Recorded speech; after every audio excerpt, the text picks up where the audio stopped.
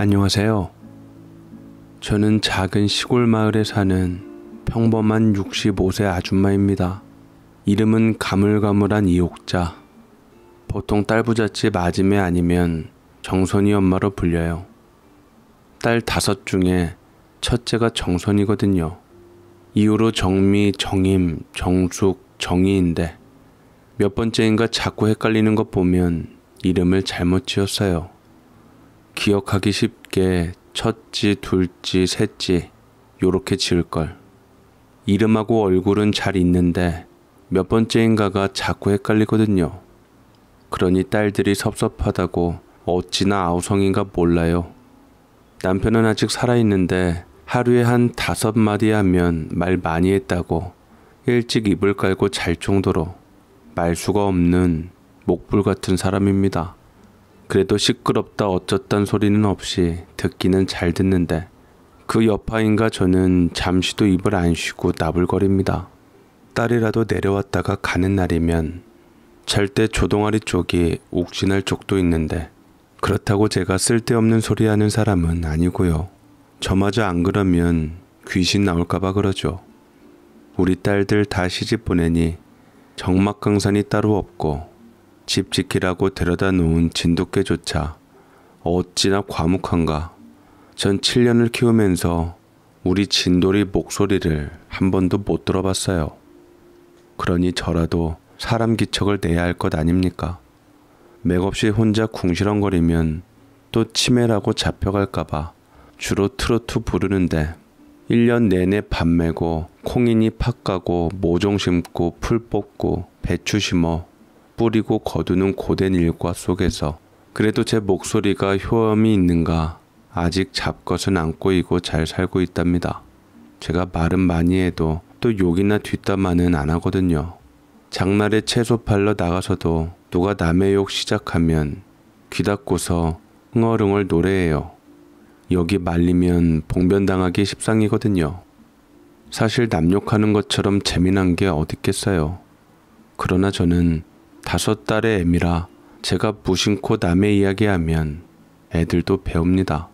제가 비록 가방끈은 짧아서 애들 숙제나 문제집 푸는 것은 못 도와주지만 해서는 안 될 것과 부모로서 본보여야 할 것 구별은 하거든요.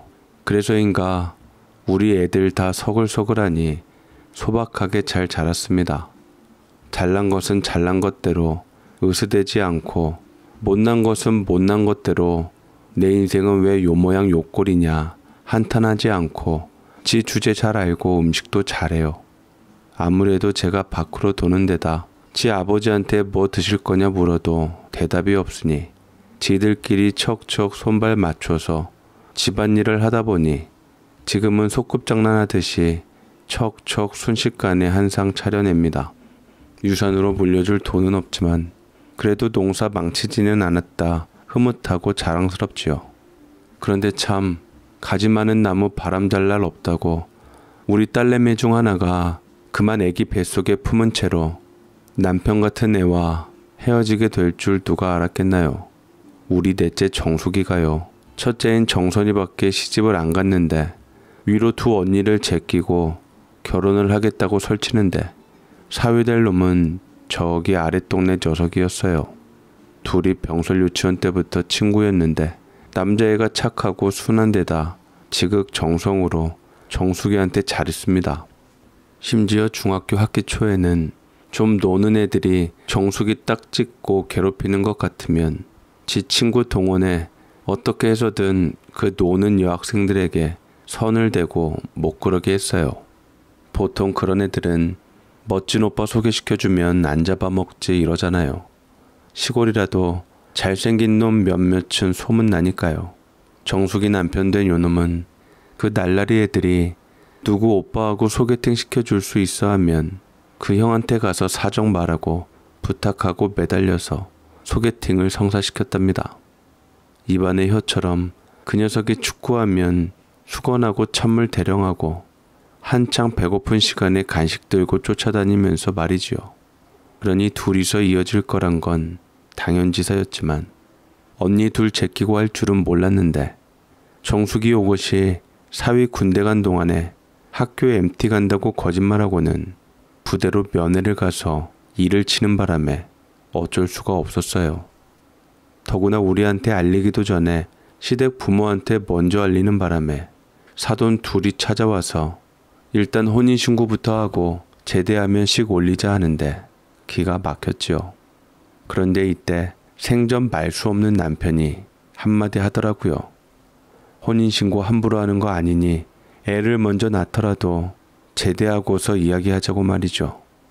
애는 별 수 없이 출생신고 밀어줄 테지만 과태료 내고 제 날짜에 올려주면 된다고 딱 자르는데 말 않던 사람이 주장하니 엄청 잘 먹게 돼요. 그럽시다 하고는 가셨어요. 무엇이 그렇게 좋은가 집안 망신 시키고 정숙이는 저 이웃 사촌들에서 어머니 아버지 하면서 방석 가져다 주고 가는 뒷모습이 안 보일 때까지 꾸벅 인사를 하고 좋아라 하며 난리가 났는데 별 수 있나요? 어차피 일 벌어진 이상 책임은 져야죠. 그렇게 또 푼수떼기 딸내미를 보는데 친정 부모라 그런가 짠하더라고요. 신랑하고도 떨어져 그렇다고 정식으로 결혼한 사이도 아니라 남들 눈 피해서 마당에서 놀고 있는데 왜 고생을 사서 하나 안쓰러워서 다들 챙겨주는데 담장 하나 사이에 두고 사는 우리 정숙이보다 두 살 많은 옆집 애가 또 놀러 와서 참 고마웠습니다. 아이고 내 덕분에 우리 정숙이가 요즘 살판이 났다. 고맙다 시선아. 일칠 때는 언제고 이제서야 창피하다고 집 밖으로 못 나가겠다고 방구석서 입을 뒤집어 쓰고 있더만 희선이 네가 놀러와 줘서 요즘 얼굴이 많이 피었어. 이래서 이웃사촌이라고 하나보다 저같이 언니들한테는 무지하게 혼나거든. 부모 욕먹인다고. 저도 제 동생이 그랬으면 혼냈을 거예요. 일단 속상하니까. 그래도 남자애네 집하고 이야기 잘 됐다면서요. 모른 척 하는 집도 많은데 잘 됐어요. 안 그래도 정수기하고 승철이 유명해서 이런 일로 헤어지는 게 더 이상하고요. 조금 일찍 애 낳는 것 빼곤 나쁠 것도 없죠 뭐. 가뜩이나 죽고 못 사는 애들이 서로 떨어져서 얼마나 힘들지 안 됐어요. 그런데 승철이는 자기 집에다 정숙이 안 받아주면 타령할 거라고 겁주면서 집으로 데려다 놓으라고 했다는데 시댁에선 별로 안 반겨요?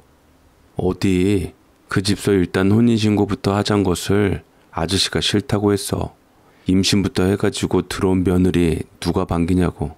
신랑도 없는 집에서 괜히 무시당할까봐 그런가.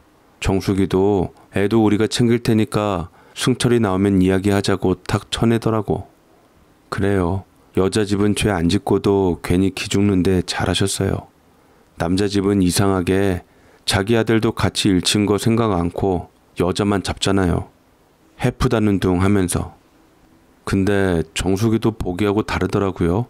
학교에서 놀러 간다고 하고선 철원까지 면회를 가고 겁도 없어 하여간 저라면 오라고 해도 못 갔을 거예요.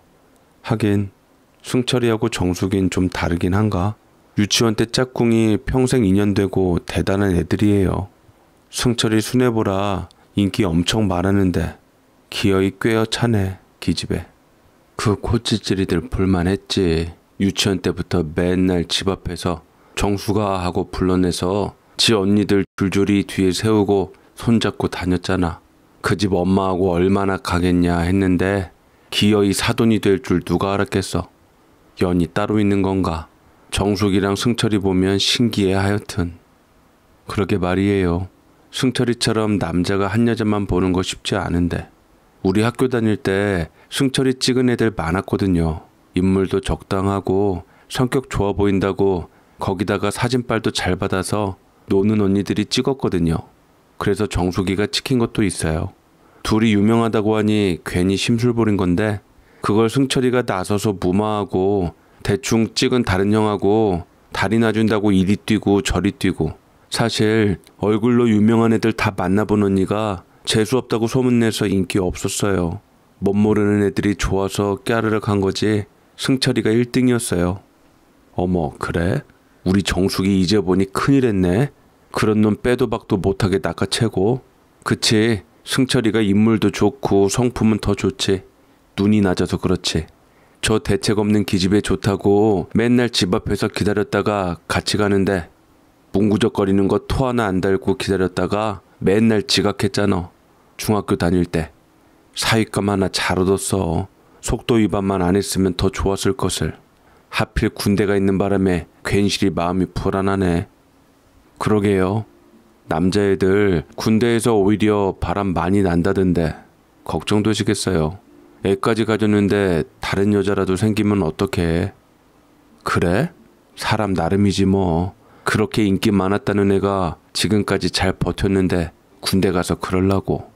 지금 시간 날 때마다 애기 괜찮냐고 전화하고 닭살짓 하는데 믿어야지. 불안하기로 따지면 승철이가 더 불안할 거인데 괜한 사람 의심하면 쓰나. 어여 들어가 봐. 정숙이 기다리겠다. 저는 이 아이와 이야기하면서 뭔가 기분이 안 좋아져서 얼른 방으로 들여보냈어요. 아니할 말로 딸이 결혼도 하기 전에 배불러 있는 우리 입장에서 군대가 있는 승철이 안 불안하다면 거짓말이지만 지가 어디라고 저런 말을 합니까? 마치 이미 바람이라도 난 것처럼 어떻게 하면서 울상을 하는 게 너무 꼴 보기 싫었어요. 아무리 생각해도 이해가 안 가는 게 당시에 정수기가 입덧이 막 시작돼가지고 그렇게 김치전을 찾아댔는데 우리 집 것은 맛없다고 하더니 저 희선이가 부쳐다 준 건 잘 먹어서 저희가 자주 날라다 줬어요. 김치전이나 볶음김치 같은 거요. 그러니 이상하고 기분이 꺼림칙했어요.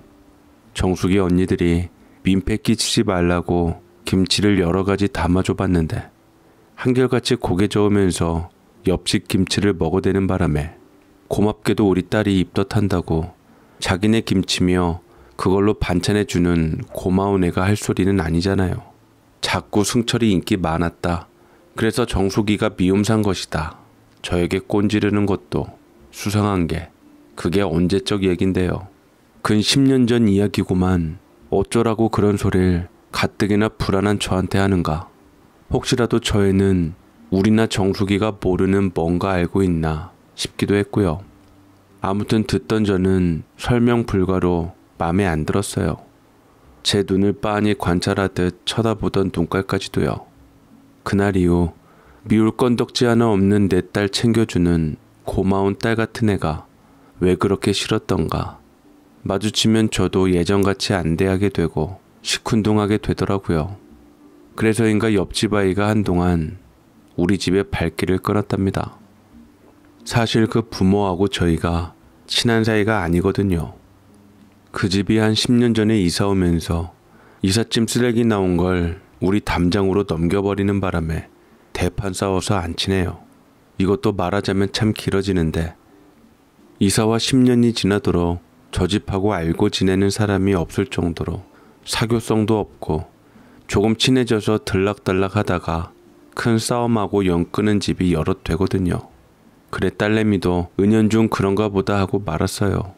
정수기에게 물어보니 희선이하고 싸우지는 않았다는데 앞으로 자기 바빠서 못 볼 거라고 했대요.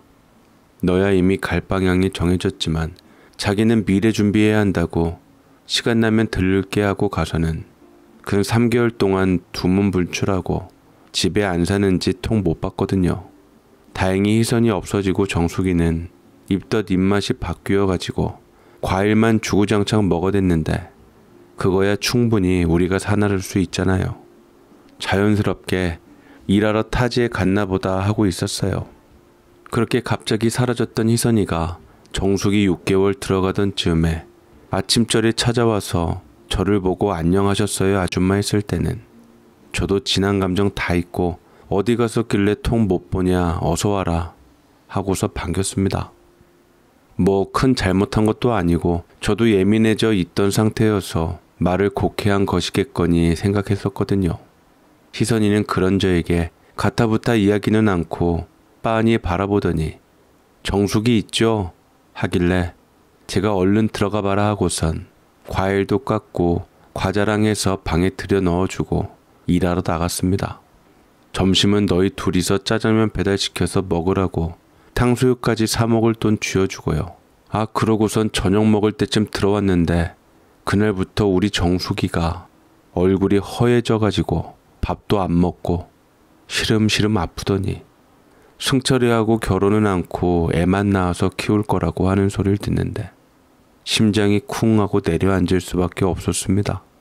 정숙이 언니들이 다 달라붙어서 무슨 일이냐 캐니 결국 이실직고를 하는데 딸이 입덧한다고 반찬해 주던 옆집 아이가요. 뒤에선 이상한 짓거리를 했더라고요. 승철이 생일이라고 정숙이 대신이라며 지가 사위 면회를 갔답니다. 그러고서는 정숙이는 힘들어서 부대까지는 못 왔으니 외박 신청하고 읍내로 나가자 했다는데 여기부터 애들 말이 갈립니다. 문제는 이게 다가 아니라 희선이한테 아주 요상한 소리를 들은 모양이야. 그날 이후로 몸이 이상하네. 나도 너처럼 자꾸 음식만 보면 구역질이 나네 이랬다네. 잠만 쏟아지고 해서 진작 올 걸 못 왔다면서. 그러니 이게 무슨 말이겠어? 하여간 나 걔 처음부터 마음에 안 들었어. 어렸을 때는 친하지도 않던 애가 갑자기 친한 척해서 아니 지가 왜 승철이 면회를 가? 정숙이가 지 대신 가달라고 부탁했을 리도 만무하고 어쨌든 그럼 걔네 일쳤단 말이야? 승철이는 뭐래? 죽어도 아니래지 뭐. 자기도 희선이가 면회 와서 놀랬다가 읍내에서 기다리고 있다는 말 믿고 외박 신청을 했대. 그리고선 정숙이는 코빼기도 안 보이고 생일 축하하네 뭐네 넋을 빼놓고 먹을 거 먹여서 정신없이 시간이 지나가긴 했는데 아무튼 승철이는 한사코 별일 없이 밤에 막걸리 마시고 바로 잤다고 한대. 터미널 근처서 따로따로 방 잡고 아침에 차 태워 보냈다고 펄펄 뛰는데 희선이는 그날 둘이서 그렇고 그래서 벌 받은 것 같다며 울었대. 그날 임신한 것 같은데 자기 어쩌냐고. 그러니 일을 어쩌냐고. 휴가 나와서 삼자 되면 할래 하니까 그렇게라도 해야지 뭐 그러는데 자기는 어차피 설 자리도 없어서 나을 수는 없지만 억울해서 알려주러 왔다고 아무튼 승철이도 남자니까 믿지 말라고 하더래. 희선이 말은 방 두 개 잡으려고 했는데 누나한테 무슨 짓 할까봐 그러냐. 그럼 잠자지 말고 밤새 술 마시자고 그러더니 확 나는 승철이 말 믿는다. 당장 임신 7개월인데 그 말이 진짜라도 어쩔 수 없는 일이잖아. 막말로 애 혼자 키울 거야? 결혼도 않고? 애초에 희선이가 이상한 거야. 지가 왜 승철이 생일 챙긴다고 혼자 면회를 가며 정숙이 읍내에 와 있다는 말은 뭐냐고. 걔가 승철이한테 마음 있다가 작정하고 꼬신 거 아니야. 안 그래도 걔 나 붙들고 승철이 바람나면 어떻게 해요? 요즘은 남자들이 군대에서 다른 여자 만났는데 이러면서 입방정 떨어서 밑보였거든. 아무튼 나는 승철이 말을 더 믿을란다. 희선이 걔는 엄마부터 이상해. 그게 간단한 문제가 아니야. 승철이도 남자잖아. 더구나 군대가 있고. 우리 남편이 그러는데 남자가 횟가닥하면 별짓 다 하는 거래. 특히 군인은. 그렇잖아. 뻘뻘거리며 쏘다니던 그 혈기 왕성한 애들을 가둬놓고 여자 구경도 못하다가 여자가 들이대는데 누가 마다해. 마누라 옆집 누나 아니라 마누라 할머니가 꼬리쳐도 훅 간다는데? 아니 김서방도 참 입이 방정이다. 그럼 정숙이 미혼모인가 뭔가로 혼자 애 키우며 살란 소리야 뭐야. 믿어야지 우리는 당사자인 승철이가 아니라는데 아무튼 걔가 임신했다는 말이 거짓일 수도 있고 정숙이는 뭐래 그래서 남자 바람 핀다고 다 때려치우면 가정 일구고 살 여자 몇 없어. 네 아빠도 아주 예전에 여직원하고 그렇고 그럴 뻔한 거 어찌어찌 초장에 떼냈어. 그 여자가 과묵한 남자 좋다고 매달리고 엄청 꼬리 쳤는데 뭔 짓을 해도 반응이 없으니 지풀에 나가 떨어지더라만. 나도 그때 네 아버지 다시 봤다. 아니 싫단 말도 안 하냐고 인간이. 지도 즐긴 거지 뭐. 생각만 해도 화딱지나네. 우리 정숙이한테 잘하더니 난데없이 뒤에선 군대 간 사위 면회 가고 호박식 가더니 아이 가졌다는 옆집 아이 때문에 정숙이는 한사코 승철이와 결혼은 않고 이제 만삭이라 어쩔 수 없는 애를 지가 책임지겠다고 고집을 부리는 바람에 그 집 부모가 와서 보자마자 쳐내지 못한 것은 잘못이지만 애기 생길 만한 짓은 추워도 없었다고 한 번만 봐주라고 했지만 끄떡도 안 했어요. 승철이는 정수기와 통화하며 시선이 애가 입덧하는 정수기에게 도움을 준 거며 말벗해주러 드나들며 친한 것을 알아서 차마 쳐내지 못했다고 끝까지 변명을 했어요. 하지만 정숙이는 지도 마음에 있었으니까 강행했지. 외박 나와서 자기 없는 거 알았으면 부대에 복귀했을 거라고 맞받아치더라고요. 물론 틀린 말도 아니긴 하지만 승철이도 애라 기껏 받은 외박증을 날리고 싶지 않았을 거라고 정선이 신랑이 설득을 해도 안 통했어요. 결국 휴가 받은 승철이가 3박 4일 휴가를 꼬박 우리 집 앞마당에서 무릎 꿇고 정숙이 마음을 돌리려고 했지만 허사였고요. 문제의 옆집 아이 희선이는 그 무렵에 자기가 애는 잘 해결했으니 걱정 말고 살라고 뒤로 빠지는 바람에 애가 준 것이 사실인지 그 애가 승철이 애인지도 모르고 의욕만 의욕대로 남아 돌이킬 수가 없었습니다. 승철이네는 결혼은 않더라도 애는 자기네 달라고 했지만 이미 태동 느낀 엄마가 애를 쉽게 넘겨주겠습니까? 죽어도 자기 애라고 만약 데려갈 생각이면 자기는 애 품은 채로 죽어버릴 거라고 해서 폭폭하게도 미혼모를 자청하며 외손녀를 낳아 홀로 키우고 있답니다. 승철이네는 이 일이 있은 후로는 마을을 떠났어요. 면목 없다고. 저 역시 잠시지만 일이 이렇게 된 마당에 애가 세상 나오기 전에 잘못되었으면 좋겠다 하고 바란 적이 있어요. 이 나라에서 결혼도 않고 애 낳은 여자 인생 뻔하고 게다가 이런 환경에서 애가 잘 자란다는 보장도 없을 거라 미래가 뻔해서요. 하지만 또 손녀가 세상에 나와서 빽빽거리니 마음이 달라지더라고요. 핏줄이 뭔지 그래 압이 없는 대신 우리가 더 이뻐해주고 바른 길로 인도하면 되지 싶고 우리 손녀는 이모들이 또 엄청 불고 빨고 인형놀이 하는 바람에 공주님처럼 자라고 있답니다. 하지만 근 20년 이어온 애들 인연이 아주 처참하게 끊어지고 정수기만 고생길을 자처하며 손녀 키우고 있는데 부모인 제 속이 속이겠습니까? 이 일이 일어나는 동안 옆집은 코빼기도 안 비치고 시선이 그 아이는 자기도 피해자라며 도리어 우리를 욕하고 다녔어요. 몸 무거운 정수기 대신 생일 축하해 주러 간 자기를 상대로 일 저질러 놓고 뻔뻔하게 그런 일 없다고 입을 싹 씻더라면서 결국 그런 승철이하고 정수기가 한 통속 아니겠냐 이거죠.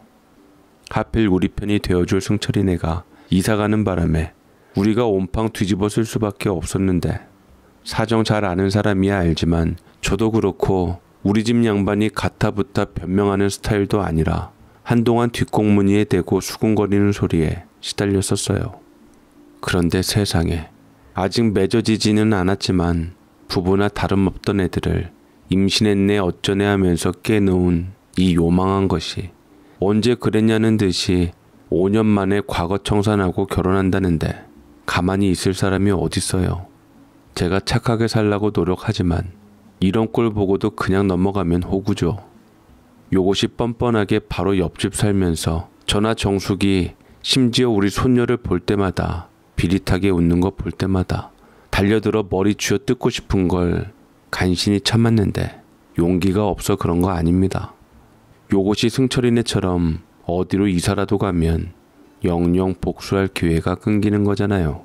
옆에 붙여놓고 좋은 놈이건 못난 놈이건 요것이 지 인생 살라고 나설 때 제가 팍 고춧가루 끼얹어야지 이를 갈고 있었거든요. 요 내 딸 인생 망친 옆집 것이 읍내로 직장 다닌다고 아침마다 분칠하고 다니더만 마침 어떤 남자하고 좋아 지내다 결혼한다는 이야기에 저는 올 것이 왔구나 했습니다. 당한 대로 갚아줘야죠. 내 딸 저렇게 만들고 지는 시집가 잘 살길 바래요. 지가 먼저 문제 만들고 우리에게 사실 확인할 기회도 안 주고 지가 애를 처리했다던 못된 년. 어느 병원이냐 묻자 그거 알아서 뭐 하려고 하던 음습한 인연. 어떻게 된 일이냐며 진실을 요구하는 승철이네한테도 아드님한테 들으라며 한마디도 안 하다가 정숙이한테 부탁받은 것도 아니고 왜 몰래 승철이 면회를 갔냐는 물음에 봉변당한 피해자인 척 하면서 도리어 우리들이 험한 일 당한 자기를 입막음하려 한다고 동네방네 소문을 내고 다녔던 아주 영악한 년이거든요. 심지어 저는 같은 또래인 정임이 통해서 저것이 우리 애들 어렸을 때부터 언제 깨지냐며 연불 외우고 다녔다는 소리를 들었어요. 설마 근 20년이 되도록 그랬겠냐 하지만 뒤틀린 것들 심보를 누가 합니까? 게다가 옆집 아이가 했던 승철이 좋아하던 애들이 정숙이 미워했다는 이야기가 생각나면서 접어들고 이미 승철이가 바람이나 난 것처럼 어떻게 하면서 설레발친 것까지 차곡차곡 쌓이면서 요것이 승철이를 마음에 두던 참에 정숙이가 임신까지 했겠다. 결혼 초일기 들어가니 재뿌린 거란 확신을 했습니다. 신혼이도 아닌 지가 굳이 승철이 면회 갈 일이 없잖아요. 지 부모도 전화 한 통으로 끝낸 생일이 뭐가 대수라고 철원까지 젊은 여자가 쫓아 올라가냐고요. 정작 마누라나 다름없는 정숙이한테 말도 안 하고요. 인간 아닙니다, 요년. 결과적으로 우리 정숙이며 손녀가 피해를 본 건데 어디서 고개 빳빳이 들고 우리 옆집에 살며 고작 5년 후 결혼한다고 나설 수가 있냐고요. 그래서 요년의 결혼에 저도 죄를 뿌려보려고 어찌어찌 머스마가 읍내 사는 놈인 건 알았는데 연결되는 게 한 명도 없었어요. 남중 남고 다닌 애라 우리 애들이 알리 만무한 데다 사위도 잘 모르는 애래요. 평범하디 평범한 애다. 부모도 그냥 공무원 하며 수수하게 사회활동하는 사람들이 아니라 제가 대뜸 가서 폭탄 뻥하고 날리기가 부담스러운 겁니다. 물론 얼굴에 철판 깔고 들이닥칠 수야 있지만 그러면 이야기가 제대로 먹힐 리가 없잖아요. 결혼말 나온 마당에 어지간하면 흐린 눈하고 창피하니까 강행하고 그걸로 두고두고 기죽이고 감시하자 요런 집도 많단 말이죠. 그렇게 이 옆집 기집애 신랑 되는 머슴마와 주변에 대해 알면 알수록 답이 안 나오는 겁니다. 순하기는 한데 얘가 또 은근히 말 안 통하는 타입이라 남들이 말리면 더 한다네요. 원래 서울서 살다 주식 말아먹고 내려왔다는데 남들이 왕창 내다버리는 주식 꾸역꾸역 사서 망했대요. 사람들이 그걸 왜 사? 등신이냐? 하는 말에 발끈해서 뭔가 보여준답시고 고집부리다 전세금까지 날려먹은 건데 요런 놈한테 섣불리 입 털어봤자 좋을 게 없잖아요. 불행인지 다행인지 애가 그거 말고는 괜찮아요. 집이 꽤 살아서 읍내에 빌딩도 있고 듣기로는 서울에도 건물이 있는 집이래요. 특히 유흥인이 노는 것 안 좋아하고 여자 남자 쓸데없이 말 붙이는 거 싫어하는 꽁생원 중에 꽁생원이라는데 다른 것 다 빼고 지가 결혼할 애가 아는 남자의 면회 가서 단둘이 외박한 걸 어떻게 생각하나 물어는 보고 싶었거든요. 처음 보는 할망구인 내가 가서 꼰지되는 것보단 그래도 아는 사람이 하나 끼어야 부드러울 것 같아서 혹시 누구네 집 아냐 만나는 사람마다 묻고 수소문을 하고 다녔죠. 그런데 그 집 부모는 아니고 걔네 할머니를 안답니다. 우리 이모가요. 원래 개원이래요. 그 얌전한 고양이 같은 손자가 한 방에 돈 날려먹고 고향에 내려왔을 때 어깨춤 추셨다는데 그런 이뻐하는 손주가 저런 파렴치한 일을 저지른 애와 결혼하게 된 걸 알면 가만 내버려 둘 리가 없잖아요. 그래서 이모를 졸랐습니다. 손주 며느리 하겠다는 애가 우리 정숙이 미혼모 만든 년이다. 행실도 그렇고 아주 집요하고 무서운 독사 같은 년이니 그 남편 되는 애 할머니 집에서 밥 먹자고 살살 불러만 줘라. 나머진 내가 다 할라니까 하여 모셨습니다. 하늘이 나를 돕는가. 그분을 보자마자 쾌지를 부른 게 생김새부터 엄청 꼬장꼬장 하더만요. 입이 작은데 앙 다물었고요. 그 옛날에 고집불통 정승들 초상화 그려놓은 것 같이 생겼어요. 실제로 여자는 일부 종사하는 게 덕목이고 행실 바르게 해야 한다고 손녀들도 할머니 만날 때는 무릎 아래로 내려오는 치마나 입지 바지나 짧은 스커트는 안 입는다네요. 그래도 제가 이모 조카라고 정체를 밝히니 한결 풀어주셨어요. 이모까지 챙기냐면서 말이죠. 그렇게 식사 대접하면서 사실 손잡은 일로 드릴 말씀이 있다고 혹시 손주 며느리 보셨냐고 하니 보긴 봤는데 눈빛이 영 마음에 안 들고 꺼림칙하시답니다. 그놈 한참 자랄 때 아범하고 어멈이 일하느라 바빠가지고 내가 키웠거든요. 손자가 아니라 아들이지. 나를 많이 닮기도 하고 어릴 때부터 절대 끼 있는 가시나하고는 어울리지도 말거라 했는데 결혼할 거라고 색식감을 데려왔는데 아 눈빛이 영 나는 너무 살살거리는 것도 별로거든. 살살 안 해도 진심은 다 보이는 건데 말이여.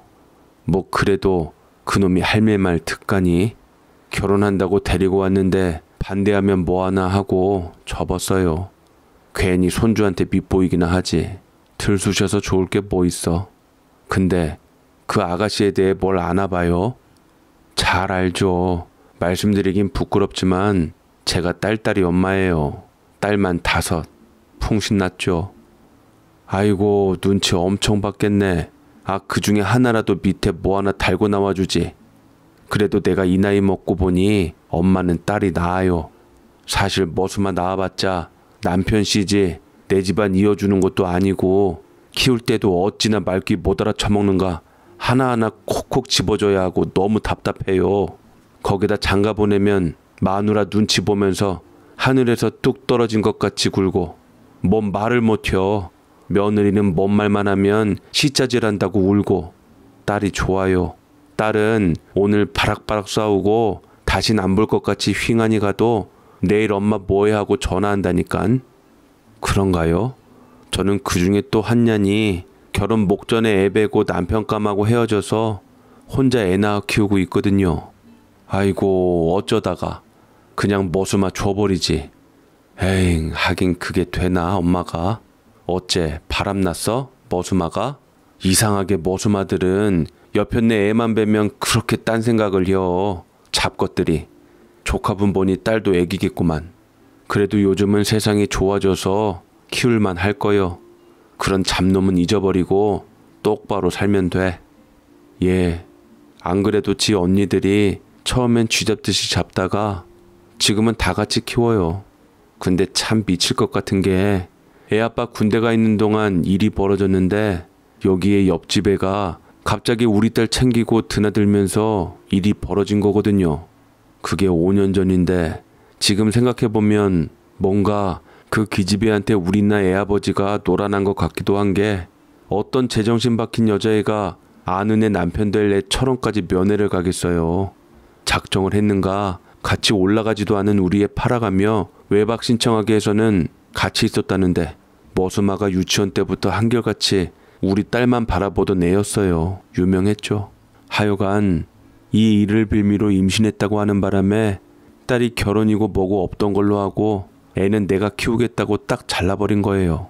머수마는 절대 그런 일 없이 방 두 개 따로 잡았다. 증거 있고 주인한테 물어보라고 하면서 끝까지 매달리다 결국에 몹쓸 짓하고 오리발 내민다고 욕먹고 이사 갔어요. 아무튼 그 여자엔 지가 애 처리했다고 하고는 없던 것처럼 굴면서 뻔뻔하게 그 집서 그대로 살고요. 이 할머니가 참 용한 게 제가 있었던 일을 할머니 앞에서 줄줄줄 이야기 절반도 채 안 했는데 갑자기 그게 손주 며느리 될 애란 말이지 하고 물으셨답니다. 제가 이야기하던 도중이라 고개를 끄덕끄덕 하면서 그렇다고 하니 저에게 손짓으로 계속 하라고 신호를 주시며 마저 듣는데 눈이 아주 반짝반짝 하시더라고요.